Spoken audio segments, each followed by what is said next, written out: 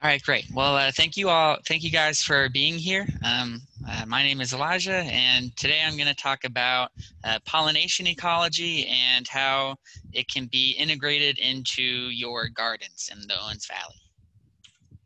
Um, so just the agenda for my presentation, I'm just going to introduce myself a little bit more. Then I'm going to focus on floral ecology and then transition into more of a pollinator focused perspective um, talk about how that can be integrated into your garden, and then highlight some of the important uh, flowers that are um, native to Owens Valley. Okay, so I'm a pollination ecologist, which means that I study the interactions between plants and pollinators over time and space. And I'm particularly interested in the impacts of climate change on pollination.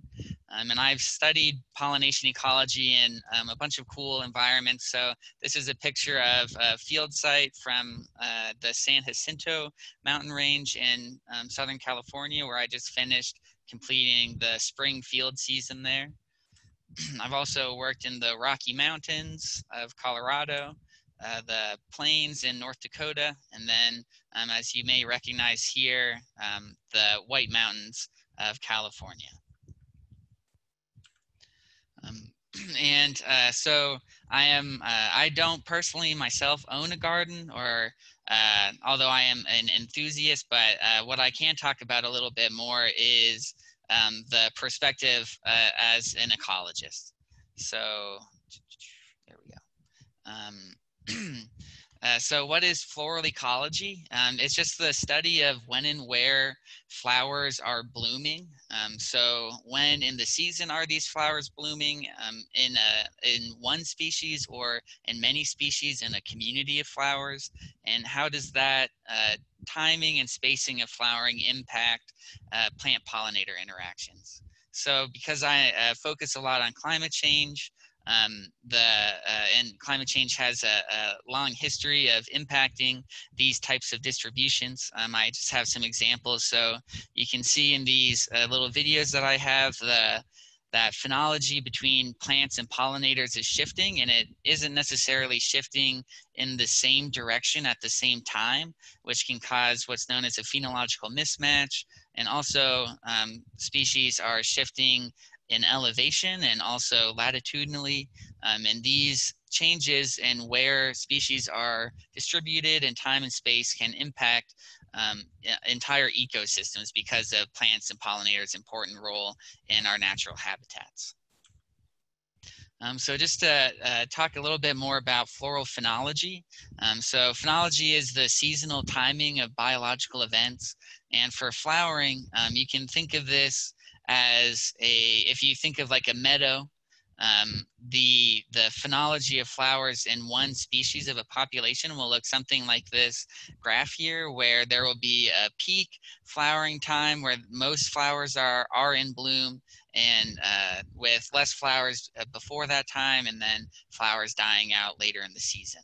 And so this is what one population of flowers would look like say in a meadow and when you combine it with um, all the other species of flowers, you have a flowering community that can be very diverse and stable um, in order to uh, pollinate efficiently and, and um, have successful pollination for plants and also for pollinators. So when there is phenological overlap like this, when multiple species are flowering throughout the season and there's always a number of flowers blooming, um, this is beneficial to pollinators because it presents a constant resource, a food source for pollinators and also a constant um, pollinating mechanism for plants who require animals to, to assist them in the transfer of pollen.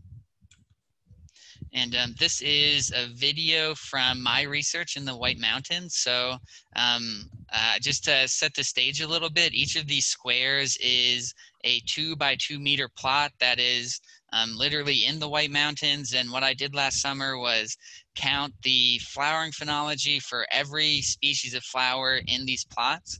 And um, each species has its own color, and the larger the point, the more flowers. And um, I'm just going to play this, and um, I want to highlight the differences between different plots and how different the flowering communities are.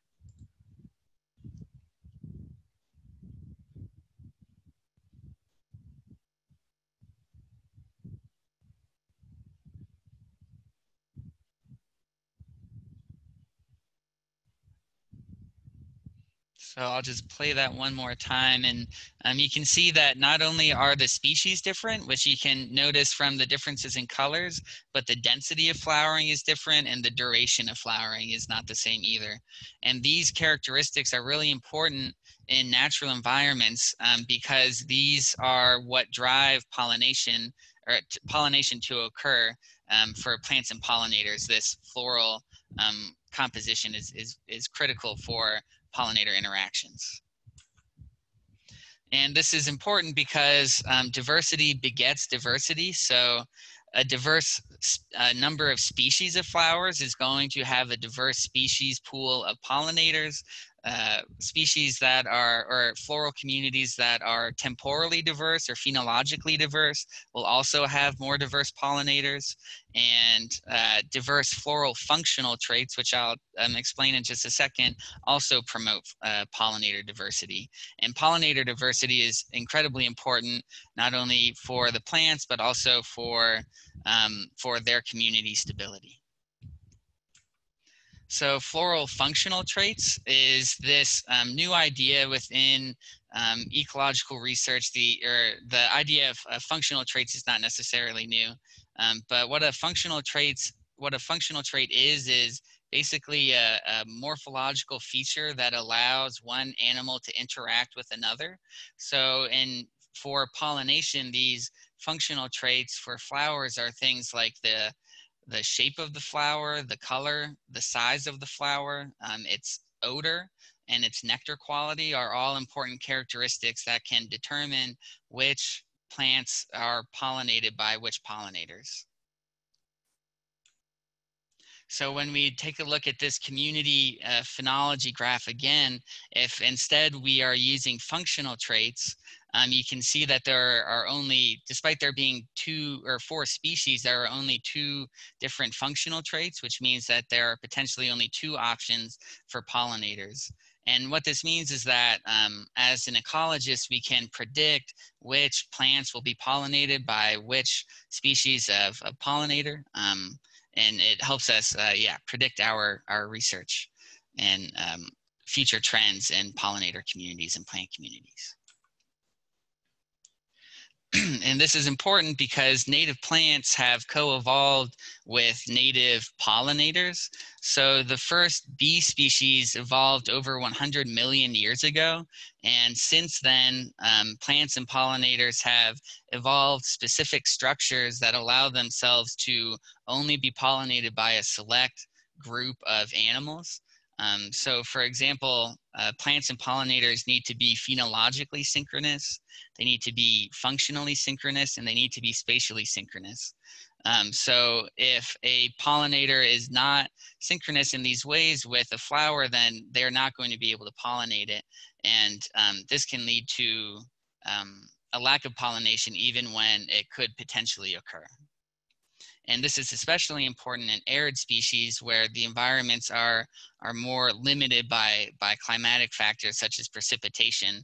And the need for coevolution is even stronger in areas like Owens Valley, where um, a lack of precipitation uh, makes the, the opportunity to flower and to forage very narrow compared to other environments. And I have a, a video here um, just uh, showing, highlighting another type of floral functional trait and how this is, how it is specific to um, particular pollinators. So hopefully you will be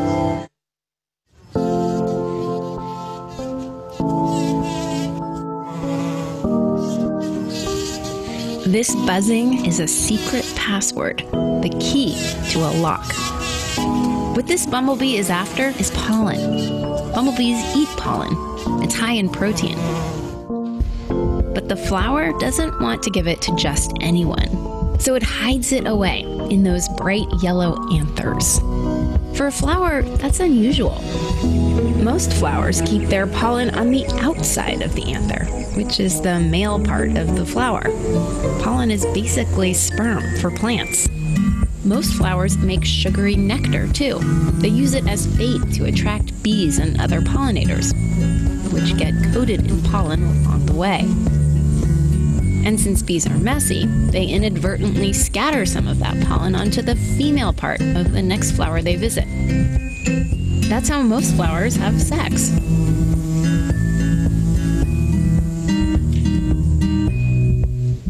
But this type of flower doesn't offer nectar. The only way to get to its pollen is through those tiny pores at the ends. But the bumblebee knows just what to do. It wraps its legs around the flower and bites down on the anthers, that male part of the flower. See those wings shaking? Normally, the bumblebee uses those powerful muscles to flap its wings. That's what makes the buzzing sound when they fly. But here, those muscles vibrate its whole body. So hard and fast that it makes a louder, higher pitched buzz. This vibration shakes up the pollen trapped inside the anthers until it spews out all over the bumblebee. It's called buzz pollination, and you don't need a bumblebee to do it.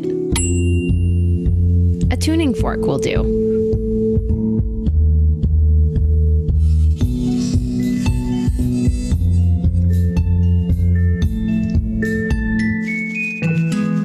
The bumblebee grooms the oh, sorry. The pollen down into sticky sacks on its legs. Carries it back to the hive. Only a few types of pollinators, like bumblebees, are capable of buzz pollination.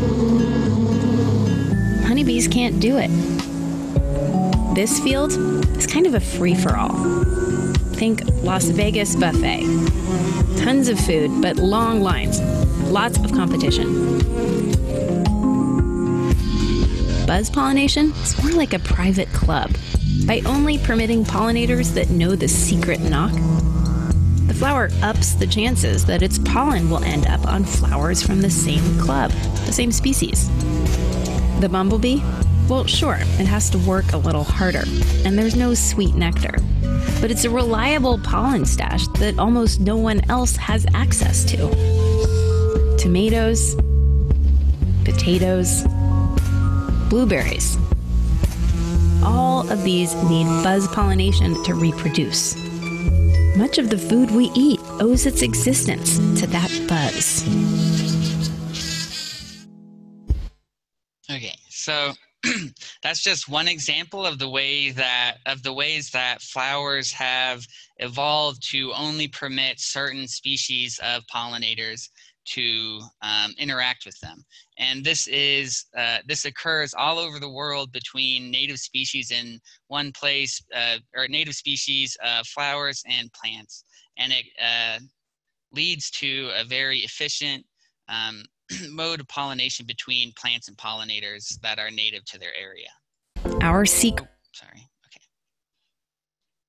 Um, and non-native plants um, can be, you know, you can uh, plant non-native plants in their in outside of their native habitat and they can succeed, but that does not mean that their native pollinators are going to uh, follow them. So uh, non-native plants need to be pollinated by non-native or by native uh, pollinators, even though they're not from there. And this is potentially um, harmful to pollinators because the nutritional value of non-native flowers is oftentimes inadequate or different than the resources that native pollinators require. and this also uh, presents an issue due to the lack of pollen transfer and a plant perspective because non-native pollen can re reduce the reproductive success of native plant species because instead of transferring native pollen from one plant to another, bees are transferring non-native pollen to native plants, which does not result in um, seed set. so now I want to focus a little bit more on the pollinator perspective. Um, so when you think of pollinator, you probably think of bees. That's what I usually think of. And there are many other species of pollinators, but bees are the are by far the most efficient pollinators and they're the ones that I focus on so uh, my examples will, will be about bees and when you think bee the bee that most people um, think of are, are honeybees right um, they're they're the most famous and widespread species of bee and probably pollinator in the whole world but the thing about honeybees is that they are not native to the United States. They're European honeybees is their, is their common name, Apis mellifera. Um, and they were introduced here when Europeans came to North America. And since they have spread both commercially due to our farming practices, but also non-native um, wild populations of honeybees have spread all over North America and all over the world. And this is especially concerning in the Southwest where we live because um, they, the wild uh, honeybee populations are mixing with Africanized honeybees that are coming from the South um, and resulting in feral Africanized populations all throughout the deserts of the Southwest. And honeybees are um, really good at their jobs as pollinators. That's why um, us humans like them so much, but they also come with a number of caveats. Um, so what makes them good at being pollinators, such as their socialization, most bees and most pollinators are not social. Um, they're able to pollinate all year long. They're super generalists. They can pollinate almost any kind of flower besides buzz pollinated ones like we just um, learned about and they target specific species. So they go out and um, each day pick different species to target, and they can fly very far distances, up to miles. And while these are all beneficial, if you're thinking about the amount of honey you're bringing in, this is actually causing a lot of uh, competition between these non-native pollinators and and native pollinators for resources. So because they are so good at pollinating, they're actually outcompeting native bees and other pollinators. And um, this is a more accurate representation of what your average native pollinator looks like. So there are 4,000 species of bees alone in North America and 20,000 species of bees in the whole world. Um, and the vast majority of them, over 75% of them, are solitary, which means they don't have a colony or a hive. Um, the females make one nest by themselves. They lay their eggs and they uh, forage for them and then die in that same year. So they're only adults for in a period of two to six weeks. And these native pollinators, like I've uh, mentioned, are co-evolved with their floral communities, which means that they likely only visit a specific number of native flowers. And because these pollinator and these um, your native bees are typically much smaller than, uh, say, your average bumblebee or even honeybees. Uh, there are several thousand species of bees that are less than half a centimeter in size. This is a this is um, even a, a, larger species here on the screen, and because of that, they can only fly short distances. So that means that their behavior is much different than that of honeybees, um, and it also means that they can easily be outcompeted by honeybees. Um, and I just want to highlight the diversity of bees here. Um, there are, like I said, there are 20,000 species. They come in all colors and shapes and sizes. Um, this is an example of some of the, a couple of the largest and smallest. So the large bee here is the valley carpenter bee, which is native to California, and it's standing next to a small uh, halictid bee, I believe. And then here in the corner, that is one of the smallest species of bee in the world, the smallest species in North America, and that's Perdita minima. And this is actually a native of um, the Owens Valley as well. It's native to the deserts of the Southwest.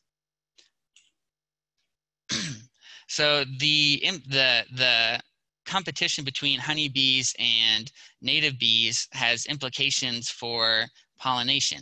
Um, so because the spatial and phenological synchrony is especially important for native pollinators, it puts them at risk not only of climate change and stuff like that, but because they're only out there for a short amount of time, um, the resources that, that they have are uh, more important to them than the average honeybee uh, population. So honeybees are really able to outcompete them, and that's been shown um, through research, and, it can be harmful to native bee po populations. And uh, while honeybees, like I mentioned, are super generalists, they uh, most most native bees do not visit more than, um, say, a dozen species of flowers. And a lot of species of native bees are specialists on either one genus of plant or even one species of plant. Um, and uh, that means that they typically are not able to pollinate non-native flowers while honeybees can pollinate both non-native and native flowers. So um, this and can in uh, in combination with other uh, issues uh, that humans are causing to our natural environments, such as climate change and uh, uh, decreased precipitation and higher temperatures, increased land use and pesticide exposure, um, creates an uncertain future for these native pollinators because of this and also because of the uncertainty of their native um, flowering resources. And this is um, bigger than just uh, a couple of species of bees potentially going extinct or something like that because of the role that pollinators play within our ecosystems. Um, pollinators are essential, are an essential ecosystem service, which means that they are responsible for um, the ecosystem uh, functioning because they help plants reproduce, which allows our entire ecosystems to function successfully. And uh, uh, for us in particular, 60 to 80% of all plants require pollination, and um, one third of every uh, cup of food that we eat is animal pollinated. So it, it impacts not only natural environments, but also agricultural systems as well. Um, so is there a way that we can easily help this, a silver lining? Well, that might be native gardens gardens can, um, in theory, be mostly beneficial, but also potentially harmful to pollinators. Um, if you are introducing non-native species in your gardens, and they have they can have potentially harmful impacts on on your native pollinators due to certain um, chemicals in their pollen that are are evolved specifically for their native pollinators but not for the pollinators in their in their introduced area um, but mostly this presents a potential to have a valuable floral resource added to um, the landscape. So um, this is because there are limitations in natural environments that are not present in gardens. So uh, the main environmental limitation in Owens Valley would be precipitation or water access. So this is, I just pulled this from a weather website uh, just to show that um, as you must, as you probably know, Owens Valley and Bishop do not receive a lot of annual water. And um, what that means is that the plants are both adapted to de, uh, to low amounts of water, but are also highly responsive to variation in in the water that they receive. And um, typically, when plants are water stressed, they have to decide between um, low impact, low risk, low reward vegetative growth, so just getting bigger, or high risk, high reward reproductive growth, or um, making flowers. So because gardens are not typically limited by water like natural environments, the plants in your gardens are able to um, a have uh, grow more flowers than native species or than uh, wild uh, species might be able to, or wild uh, populations of the same species rather. And they also can um, produce more nutritious food for uh, pollinators. So um, increased water resource can improve the quality of pollen. It can also improve the sugar content in nectar. So what this means is that a native garden can basically be a, a little pool of extra nutritious resources for pollinators. and this is especially true, I think, in Owens Valley, where most residences are pretty close to natural environments um, in in the valley. Even if you live in a town, you're likely only uh, maybe half a mile from uh, you know the whole wide open landscape of Owens Valley, um, where there are uh, native uh, flora and fauna. So what this means is that native pollinators can most likely easily access your gardens, even if they are small and they can't travel very far. And they can receive this nutritious food, which is beneficial to the pollinators. And this is also beneficial to the plants because if you plant native, uh, native plants that are the same species as the wild plants in your surrounding area, you're going to improve the outcrossing of pollination and of, of pollen, and you're going to uh, result in uh, basically a, a, more successful natural environment just by um, having these native uh, pollen resources that, that um, improve reproductive success in plant communities. So this can be um, a sustainable resource that benefits both plant and pollinators. And also this is, I think, one of the um, most effective, easy, and direct forms of conservation that you can do kind of at a local scale.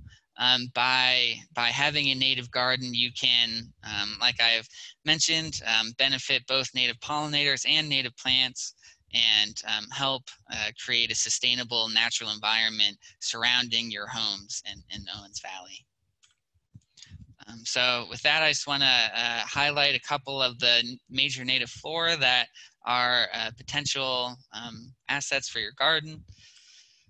so first is the uh, showy milkweed, which blooms in the summer. Um, and these are typically going to require uh, full sun and um, usually uh, not a tremendous amount of water since they are native species. And um, milkweed is especially important for pollinators. They're very popular for a wide variety of bees, especially uh, bumblebees.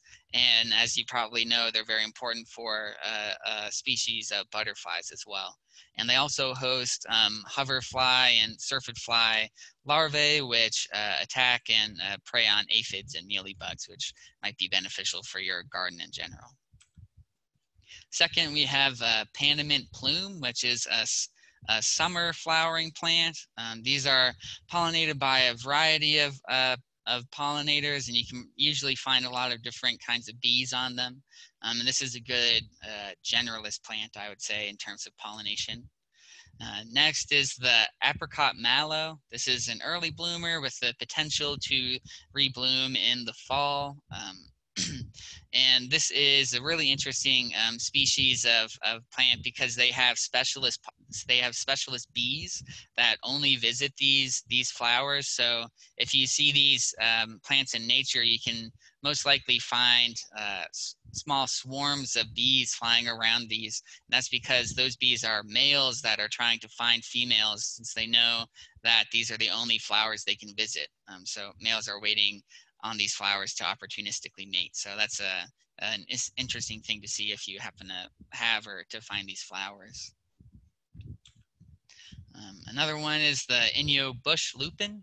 Um, so this is a spring, uh, blooms in the spring, and these are especially important for um, bumblebee species because the way the flowers are designed, um, they need to be like sat on basically to open up the flowers. Um, so this is a, another good native species for your garden potentially. Um, also the uh, prickly pear species. Um, these are another species that have a wide variety of bee pollinators and uh, in addition to um, specialist bee pollinators. Um, so this is another one similar to the, the globe mallow. And then uh, lastly, we have the princess plume, which is in the same genus as the Panamint plume. Um, and this one is an early bloomer and uh, it also um, likely has a diverse community of pollinators. I'm sure you can see a lot of um, honeybees on this uh, when it's in bloom. This is what it looks like um, in June. Okay, um, so in summary, uh, there are many excellent um, native plant species to begin your garden with um, or to add to your garden. Um, and then uh, ecologically, plants and pollinators need to meet several requirements to interact. Um, humans are threatening pollination, but native, native gardens can help both native plants and pollinator communities. And um, uh, from the an ecologist perspective and a pollination ecologist, um, here are just a couple of tips that I would have uh, for um, for your garden. So uh, when choosing your plants, um, you should just try to get as a, a, greatest diversity as you can or, or as you want. Um, it will benefit the most pollinators and have the most benefit to um, yeah native native plants and pollinators. Uh, make sure that they're phenologically variable. So, for example, the Panamint plume and the other plume that I that I highlighted, um, would be an excellent species or would be excellent species to plant in the same area because one is an early blooming plant and one is a late blooming plant. So it could provide a longer period of of flowering. And as you can probably tell from those pictures I showed, they have very similar flower types or flower functional traits. So they could probably be pollinated or they are likely pollinated by the same native pollinators. Um, and that leads me to um, the, the tip to try to get functionally diverse flowers. Um, so that means uh, uh, most obviously like different shapes of flowers. So if you have like an aster, like sunflowers or something like that, those are, are one type of flower and uh, lupins, for example, penstemons have a specific type of bee that uh, and pollinators that typically pollinate them um, and other other types of flowers. And also um, the plants that i highlighted were all like large plants but there are thousands of species of bees that are that are tiny and require small flowers and small plants. So it's a really good idea to not only plant these large um, perennial plants but also to sprinkle in um, small annual plants uh, within them if you want to try to maximize your uh, pollinator diversity in, in your garden. Um, also, um, just from just a general tip, the bee hotels that are that have become very popular are are have been um, found. There are um, recent publications that show that they aren't actually that beneficial, and they actually promote the spread of disease. So if you're thinking about getting one, um, maybe just uh, look into it a little bit more because they're not um, always going to be beneficial. And also, if you're trying to maximize the diversity of pollinators, um, these are only useful for um, it's one, it's like one genus of bee typically visits or, or use these nests. So um, it's not going to maximize the, the number of bees that, or the number of pollinators that you have in your garden, really. Um, another general tip is just to reduce the frequency of lawn care.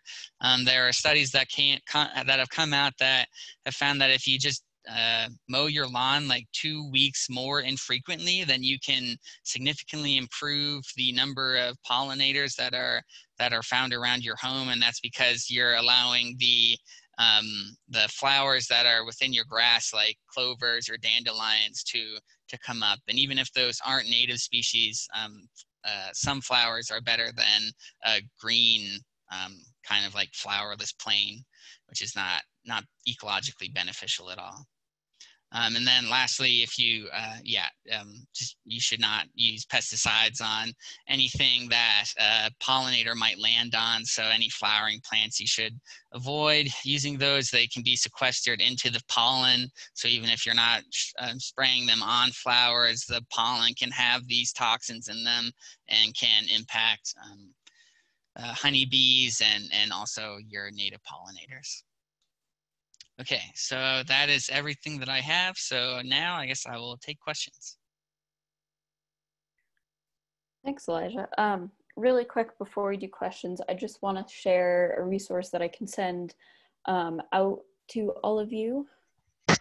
Um, I'm gonna, um, I'll stop sharing, and if we need to come back, I'll open. Okay, I'm actually gonna share something real quick. Okay.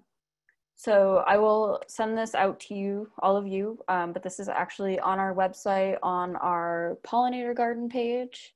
Um, and this is, we do have a recommended plant list with um, several of the great plants that Elijah mentioned, um, and then some additional ones that will show you hopefully when they bloom, um, how big they get, what type of environment they like. Um, and so I just want to let you know that that resource exists, and I will send that out to all of you um, after this workshop. Um, and if anyone has questions for Elijah, feel free to either um, raise your hand or type them in the chat box um, or unmute yourself, either way. So. Um, Wendy? Um, so I don't live in the Eastern Sierra. I live in Corona del Mar by the beach in Orange County, not mm-hmm. too far from Riverside, actually. And um, we are re-landscaping, doing like water friendly. We're trying to do things that are good for the environment. But mm-hmm. I will great, probably great. need a whole different group of flowers. Uh, we see some pretty interesting ones when we walk along Crystal Cove State Park. And uh, I don't know whether we're only, what are we, half a mile from the ocean, Fred? maybe half a mile from the ocean, and we live on a hill, so we get the ocean breezes and the ocean everything. Is there a, a, a site where I could find native plants that would be good for my specific area?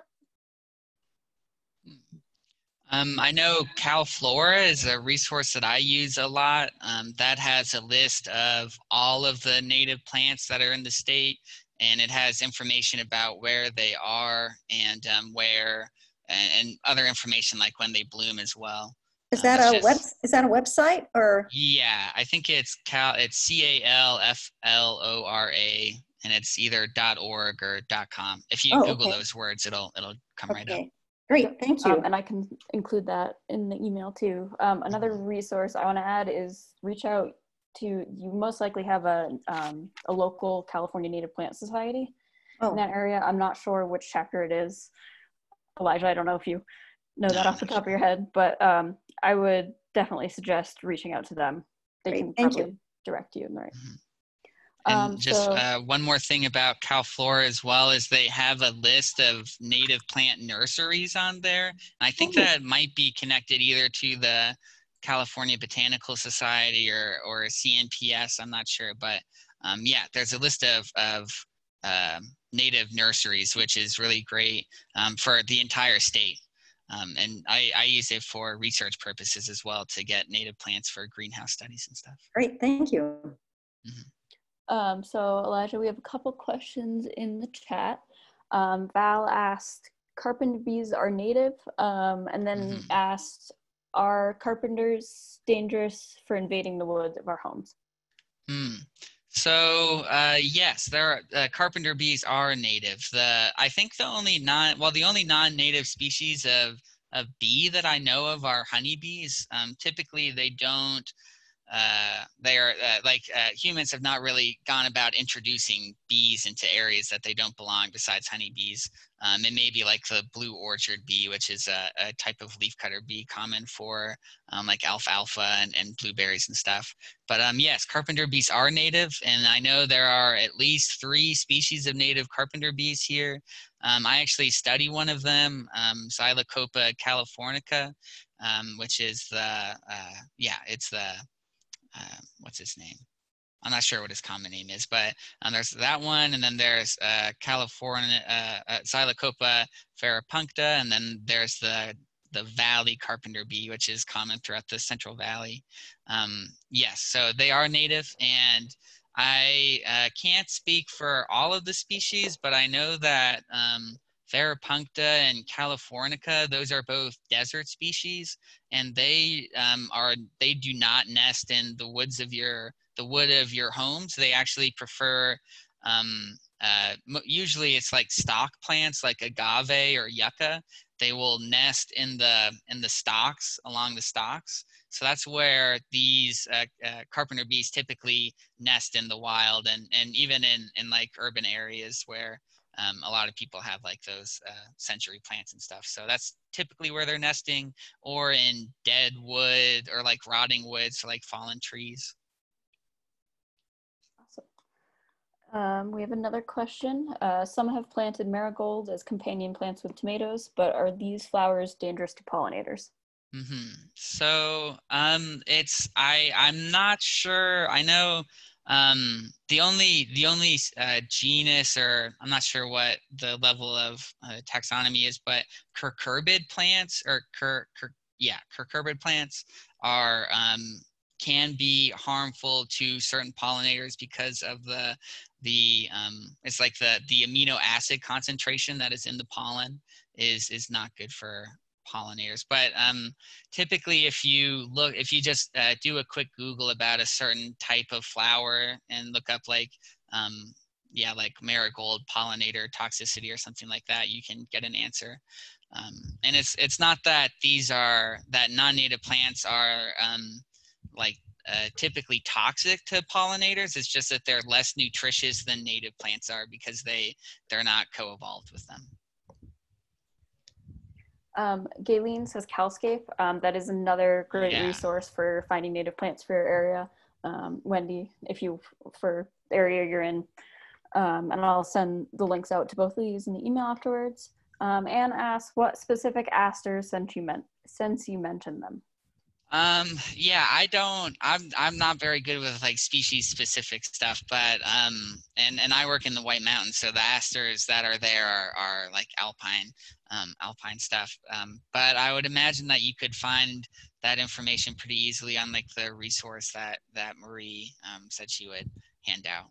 Those are basically just like the sunflower plants. So any type of um, compound flower that has, you know, like the the um, the leaves that are a certain color and then has many little flowers in, in the in the middle.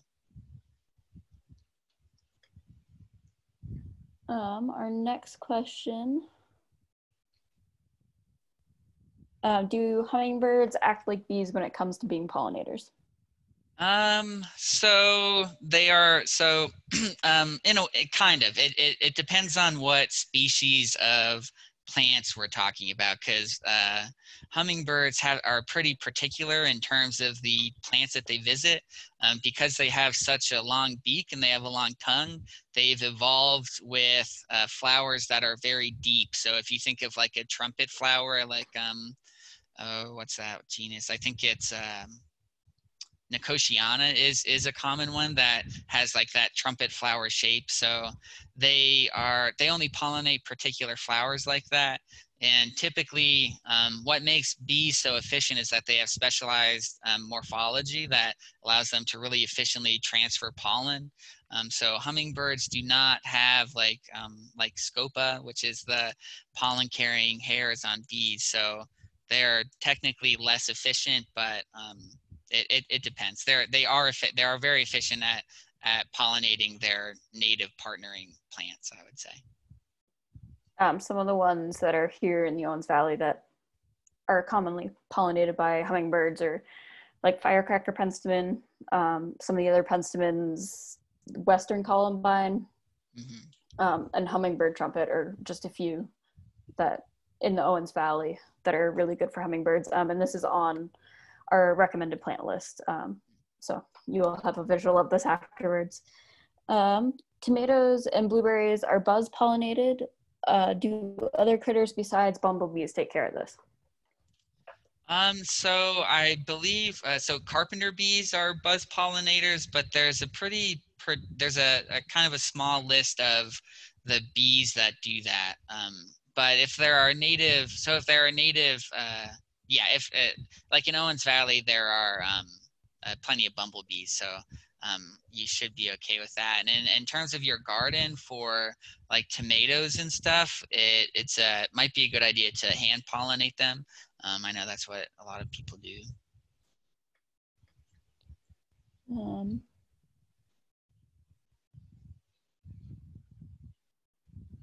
yep, Galen mentioned that uh, Cal Flora or Calscape um, shows what pollinators they benefit.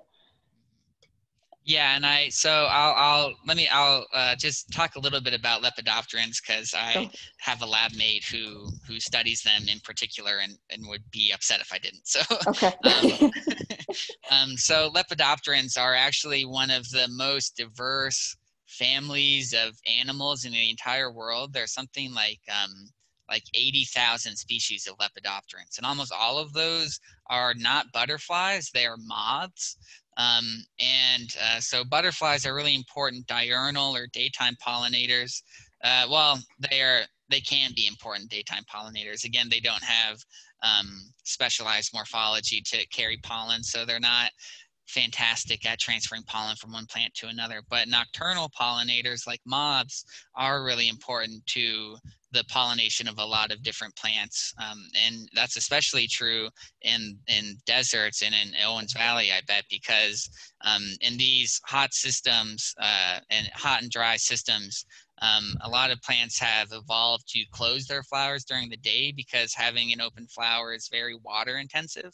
So certain species have um, evolved to open their flowers only at night, which conserves water and um, therefore, they rely only on nocturnal um, moth pollination. So that's another thing that you could maybe think about when you're um, making your garden is to also include um, nocturnal flowers.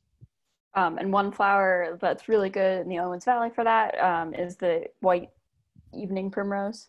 Mhm. Um, and that will attract a lot of like the hawk moths um, that are in this area. So there's a lot of the cactus or cacti flowers also will do that. Um, Yeah, pollinated by hummingbirds, then it's also probably pollinated by moths um, because they have similar morphology. Moths have very long proboscis or tongues, and so do um, so do hummingbirds. The showy milkweed you referenced, do monarch, monarch caterpillars feed on this? Um, yes, as far as I know, I'm not um, super knowledgeable about Western monarchs, but I know um, at least where I've worked in the past, they have.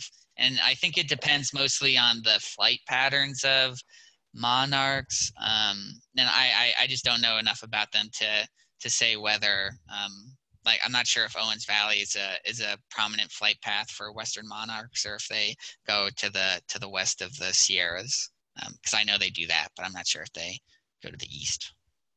Um, for one of our upcoming workshops, we are hoping to focus a little bit more um, on butterflies and moths. So stay tuned for that one. We'll ho- hopefully have more information on That's great. um, that specific. The wild bee populations that settle on school campuses and homes are these interbred Africanized with the honeybees that must be and must be stopped. Um, so it depends, uh, like what you mean by wild bee populations. When I think of wild bee populations, I think of like, uh, like bumblebees and all the other kinds of bees. But if you mean wild honeybee populations, um, then um, yes, they. Uh, it's it's hard to.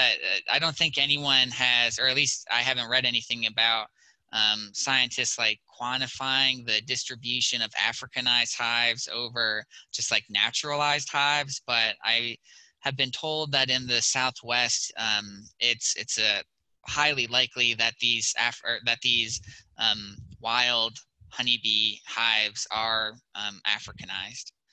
But um, yeah, so they don't really. I don't know if they should be like stopped, but um, yeah, potentially.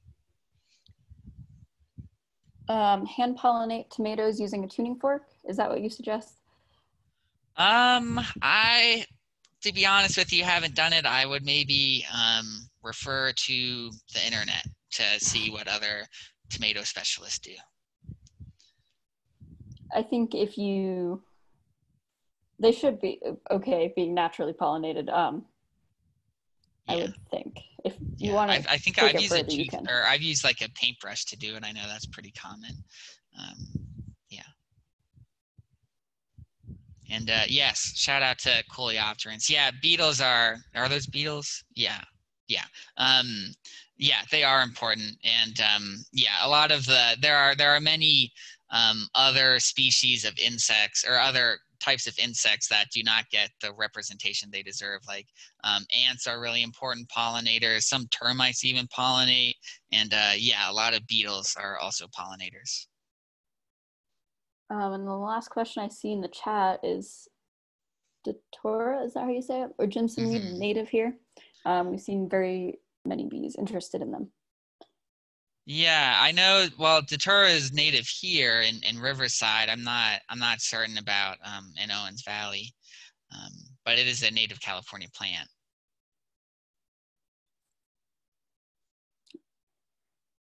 Any other final questions?